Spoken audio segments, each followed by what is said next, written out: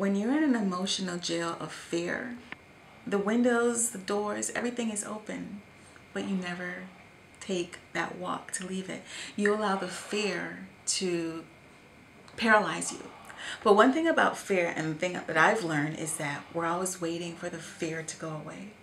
Like, I'm going to wait until I feel courageous. But that's never going to happen. It ain't going to happen. fear is not going to go away. One of the ways you can work with fear is acknowledge it. Say, yes, I'm quite frightened. And just do the action anyway. So if you wanted to go dive off a cliff, I'm not saying that you should, but if you're afraid to say, yes, I'm afraid to dive off this cliff, but I'm still going to do it. So fear is, that's what courage really is, is taking action even though you're afraid. And that is what I call truly being courageous.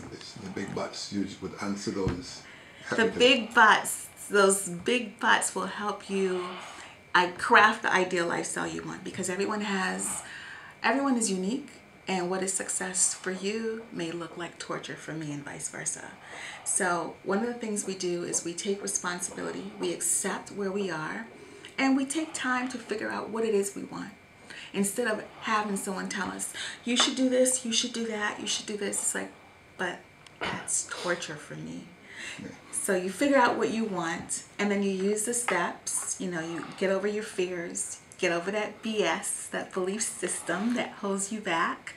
Um, create a new self-image, the one that no one sees. Because we all wear a mask. We wear this mask for the world.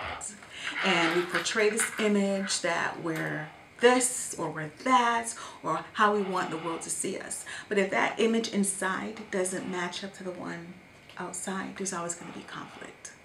So those are the things that hold you back.